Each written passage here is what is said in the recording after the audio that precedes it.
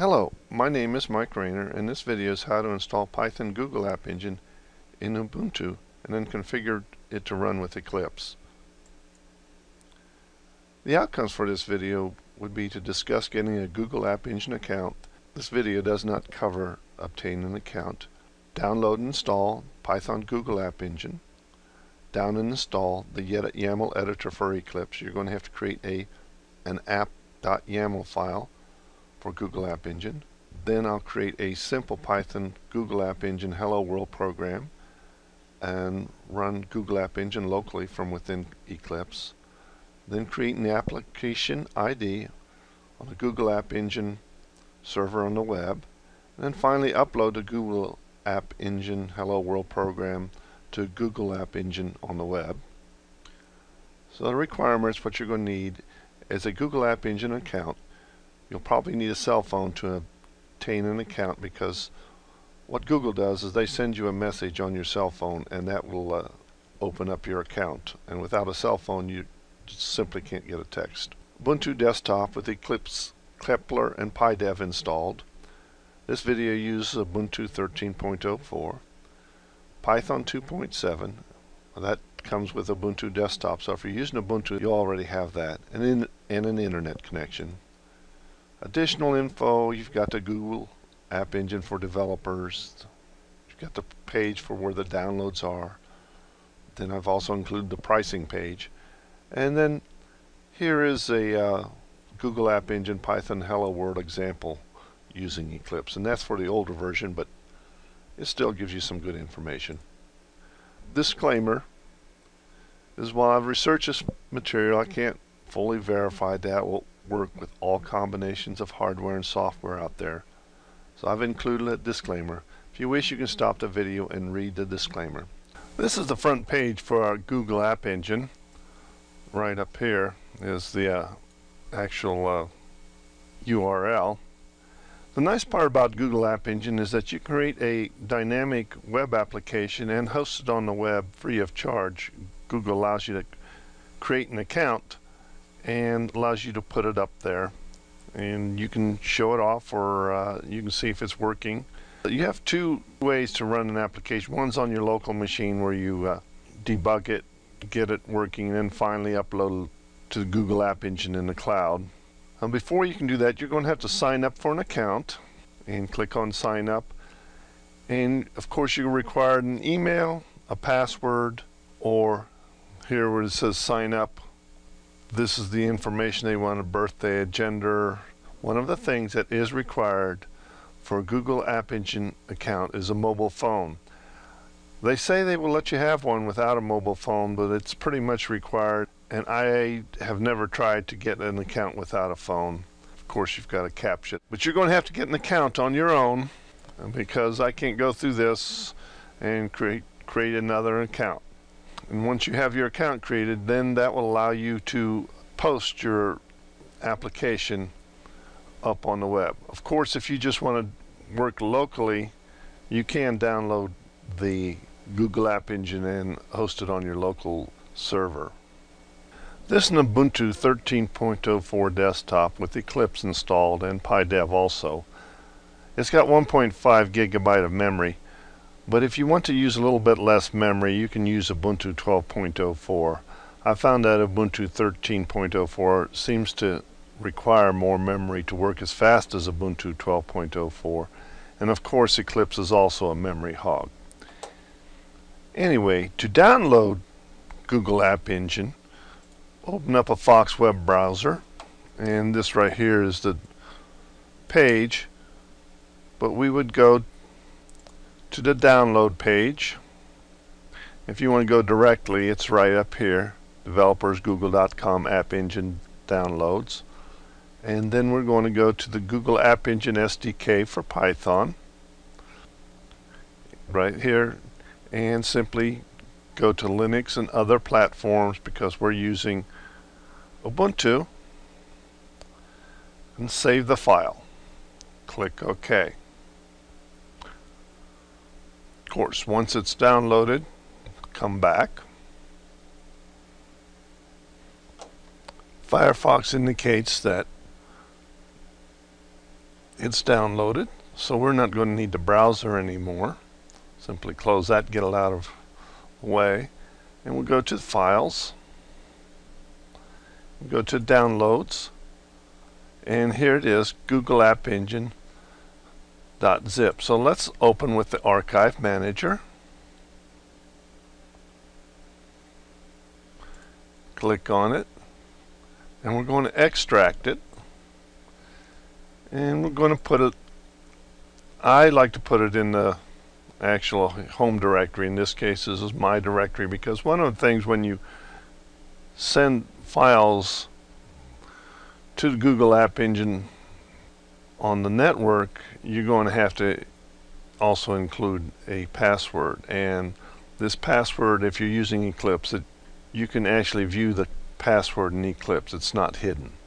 So I go to Mike and simply, which is the home directory or whatever directory you're in, and simply click extract. And files are extracted. And I could quit or let's go show the files. And here we have a directory called Google App Engine. Open it and here we have all our files, two of which we're going to be using DevApp Server Pi and there's another one that's fairly that we're going to be setting up appcfg.py. Okay, so let's go ahead and close this. Next section of the video, I'm going to start Eclipse and begin setting up Eclipse to run Google App Engine.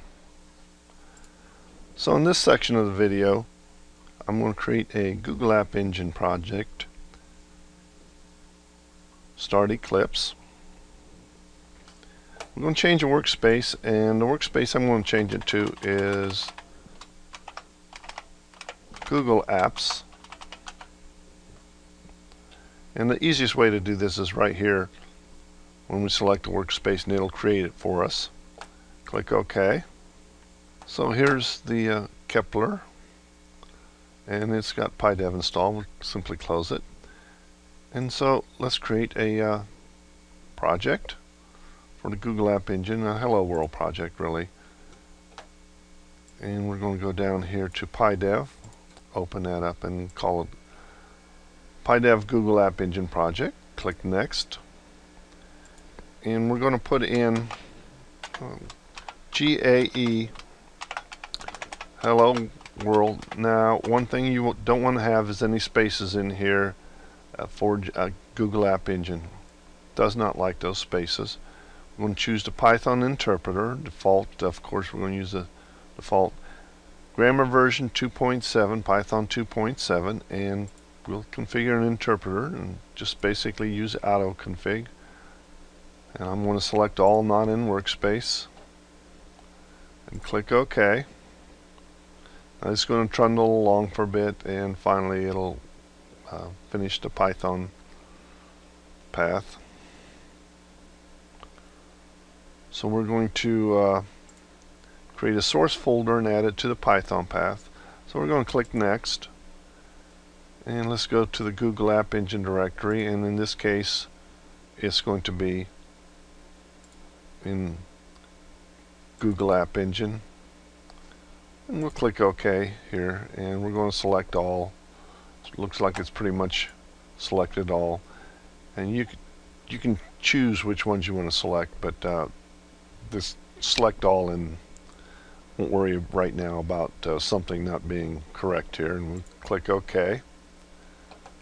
Now the next thing you can do is you, you should click finish here now but I'm just going to show you uh, what can happen if you click next. And right here it says please select a template to create the project. And all these projects right here empty project ask log on these are for an older version of Google App Engine. So it's not going to work. If you set these empty projects up it's not going to work with current version of Google App Engine. So we're just going to leave that pretty much blank and you can put something here if you want but we're just going to leave the everything default click finish this kind of project is associated with a PyDev perspective We're going to remember my decision. Click yes. Now here we go to and select source. Now I'm going to right click and create a new Python module. Py, actually it says PyDev, but it's a Python module. We're going, it's going to be located here as far as a package. Leave it blank. As far as the name, we're going to call it GAE underscore hello underscore world. Finish.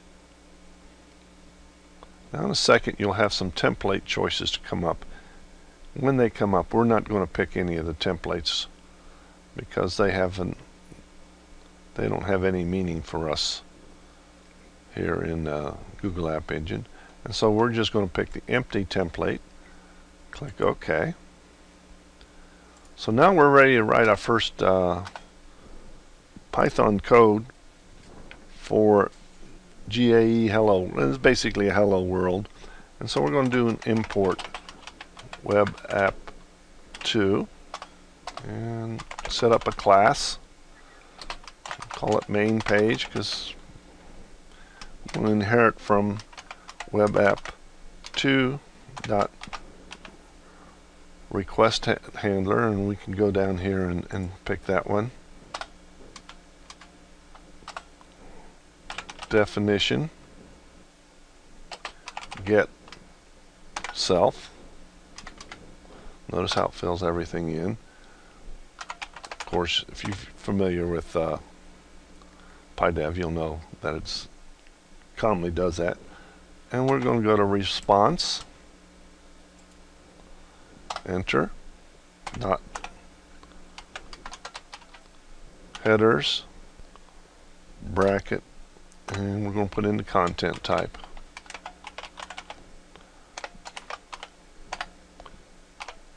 Type.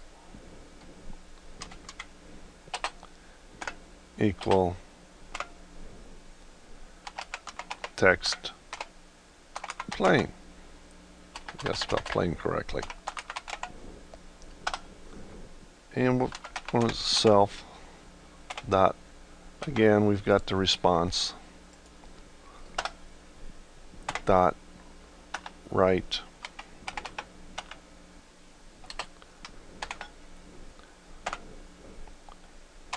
hello GAE world for Google App Engine.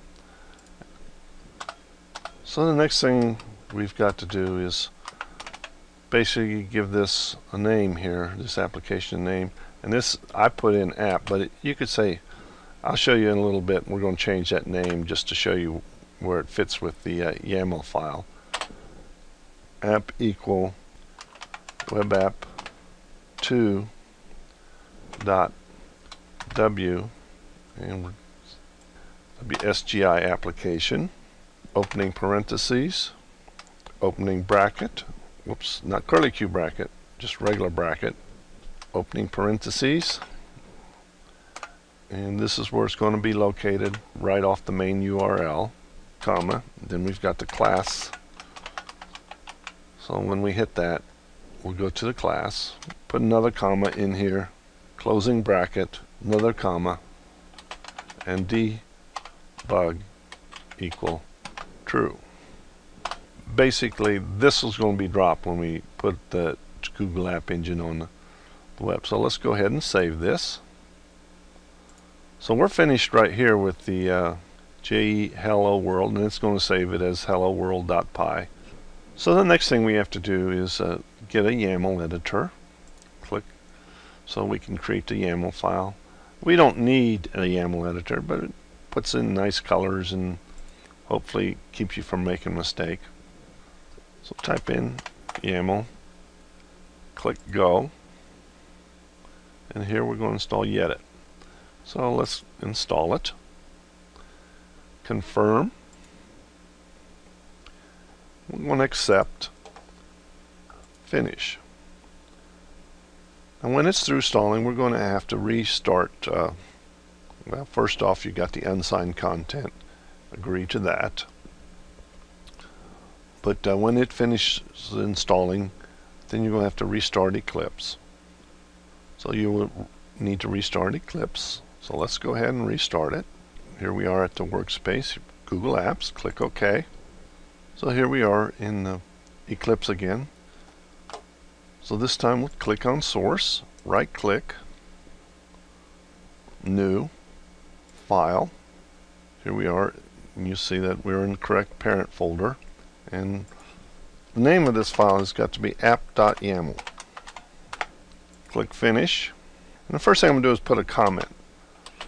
Uh, GAE likes it when the application is all the application ID is all lower case and numbers. I'm just going to put that comment in because I've had some problems if I put in uppercase.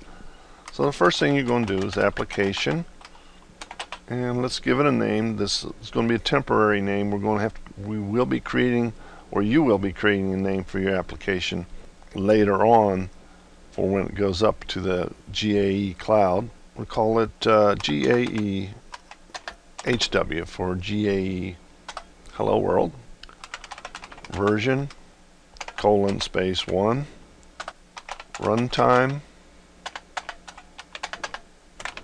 colon space.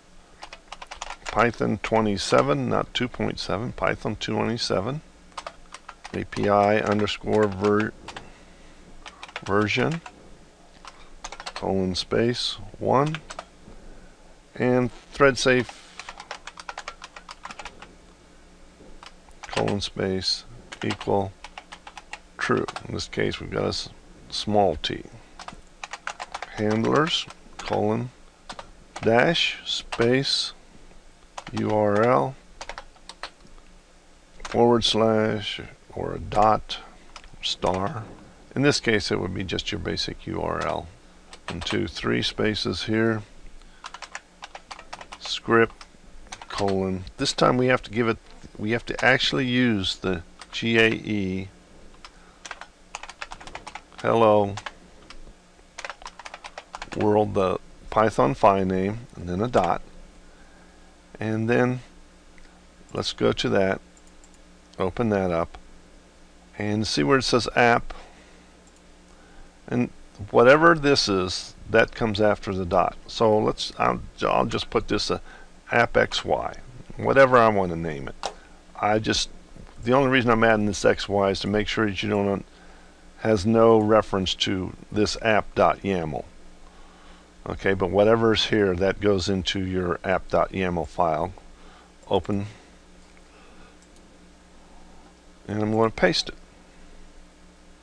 Oops I didn't uh, copy it. Right click copy and then paste. Sorry about that. So now we've got the app YAML file and we've got the Python file and they're ready to go. If I've done everything right we can should be able to now configure Google App Engine to run with Eclipse. So now I have to create a run configuration and I'm going to click here for run configurations. We'll go down here for Python Google App Run click new. And I'm going to call this GAE local.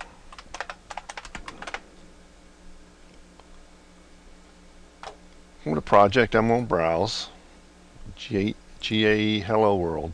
Click OK. Main module. This is where I need the Google App Engine devappserver.py in this case if I hit browse I can't get to it cancel.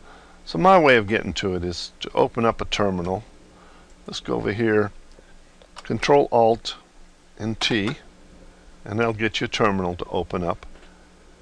And so I'm going to go to do an ls, cd to Google App Engine, do an ls, and the application here is devappserver.py that you should be running. So I'm going to do a print working directory.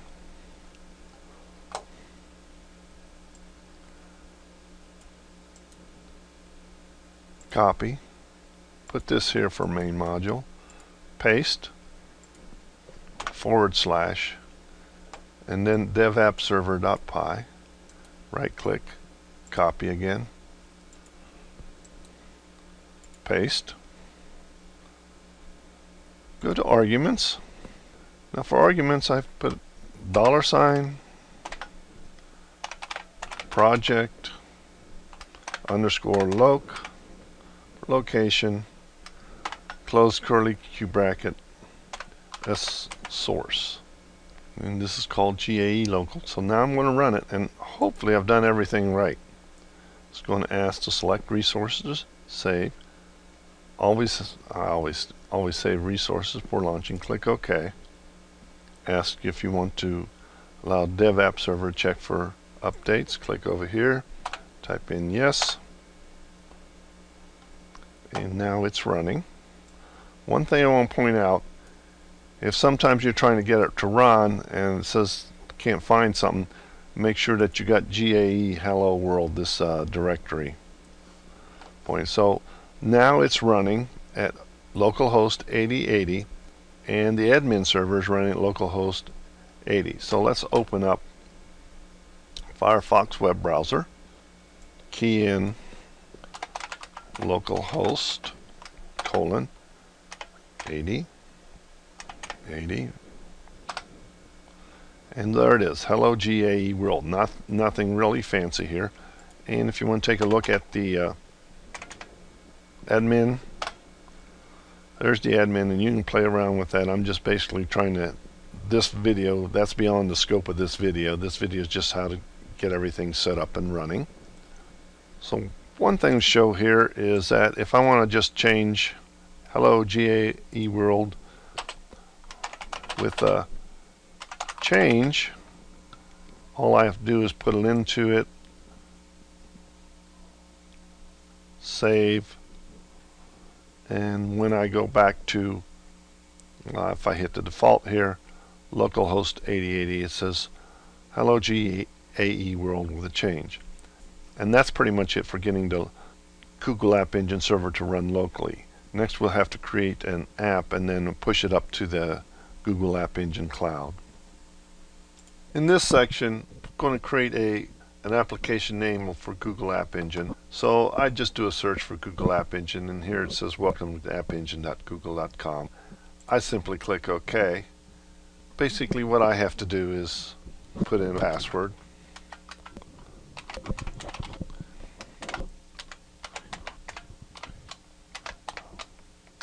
Sign in. Of course I never wanted to remember a password and then I've got a number of uh, applications there. So now I have to create an application.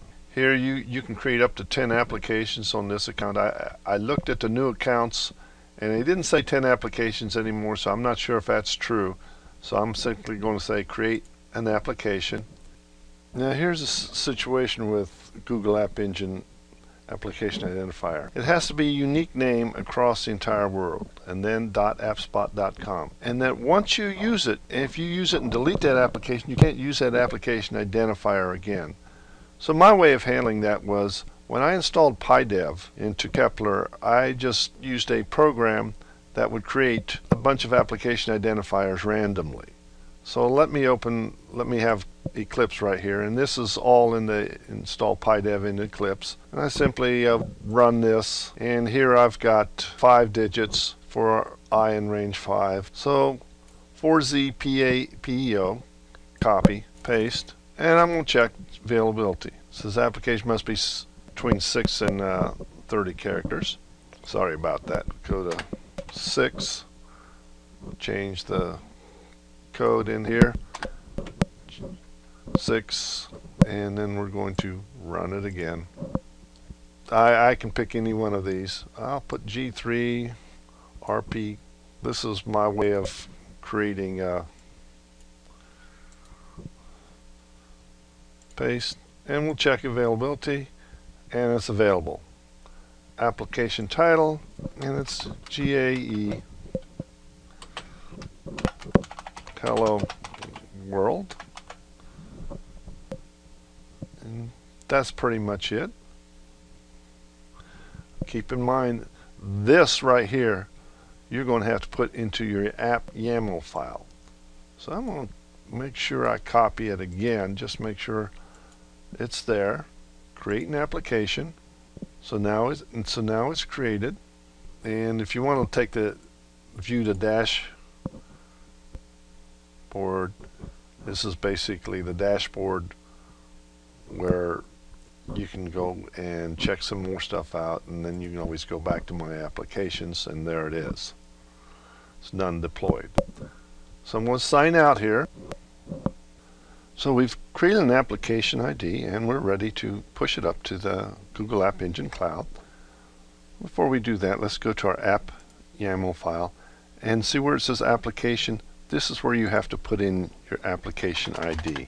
And in my case, it was G3RPKE, and that's pretty much it. Save this. Well, it should save it. So the next thing we're going to have to do is create a different run configuration that will uh, allow us to push this up to the cloud. And we're going to go to Run Configurations. Here's GAE Local. And we're going to duplicate it. In this case, we're going to give it a new name. And we're going to call it GAE Cloud, just to keep them separate. Once we have that, now instead of the devappserver.py, which is a local server, we're going to come back to our terminal and we're going to use this appcfg.py. If you've already closed your terminal, you need to reopen it and go back here. Copy this file name and just stick it right here. Paste. You're still in the same directory and everything like here. Argument we're going to have to go to put in update and then a space after update. And so now we're ready to run GAE Cloud. Click on Run.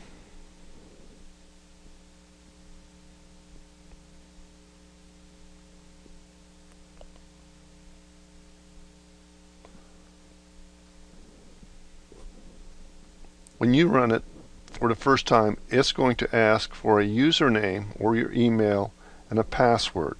This is the username and password that you created when you first started your uh, Google App Engine account. In my case, I didn't show that, and one of the reasons one of the reasons I didn't show it is because the password shows up in clear text down here at the bottom. Basically, it comes in here pretty much right in here at one of these right at this place right here. And you're going to be asked for like I said your username and then your password. But the password will show up in clear text in uh, Eclipse which you don't like but I guess you'll have to live with it. And that's also another reason why is installed Google App Engine inside your local directory now once you've done that the first time if you don't turn your machine off, it'll automatically keep, you don't have to put it in again and again, which is what happened here as I've already ran it one time. So let's go check and see what we have. It would be at G3RPKE appspot.com. GR, I'm sorry, G 3rpke dot appspot.com hit enter. Now it doesn't look like anything happened but um, because this is the same file that was already there but just to verify go back to Eclipse go to hello world again. G that has been updated, click on save. The run configuration should probably take care of that for you. Click, uh, click on GAE Cloud again. And here it goes. Putting it, pushing it back up.